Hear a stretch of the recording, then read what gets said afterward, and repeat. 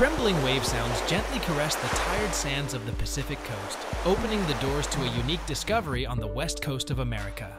Glass Beach is a beach filled with colored glass pebbles, a time playground that tells not only the story of nature, but also a complex tale of humanity. Underneath the unique beauty of Glass Beach lies a truth filled with the unconscious consumption habits of the past. In the mid 20th century, this beach was turned into a landfill.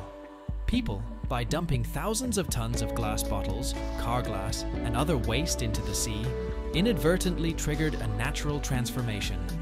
Broken by the sea and air over time, the glass pieces turned into smooth and colorful pebbles. Yet, this innocent sight actually symbolizes the traces left by humanity on the environment.